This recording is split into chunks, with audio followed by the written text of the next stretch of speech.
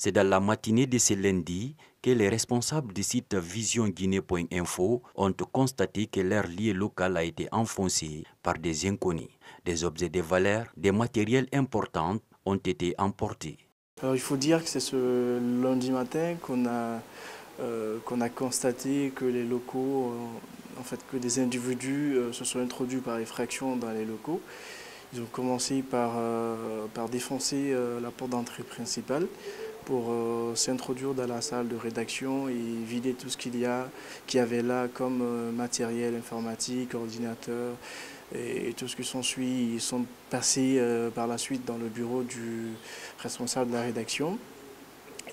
De là, il y a, une porte qu'ils ont défoncée pour accéder aux autres bureaux euh, de l'administrateur et ainsi euh, que celui du directeur de publication. Et partout ils sont passés, ils ont pris le maximum de choses en fait qu'ils pouvaient euh, en termes de matériel informatique, l'argent et ainsi que des objets de valeur.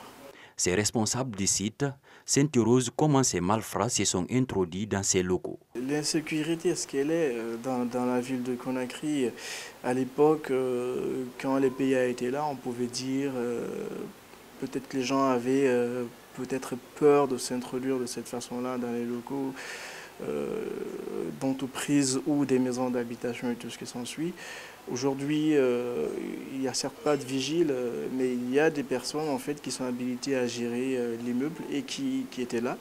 Il y a également d'autres occupants qui étaient là, donc c'est un petit peu bizarre en fait que des individus viennent défoncer une porte qui était très bien fermée et cadenassée en plus, et que ça n'attire l'attention de personne.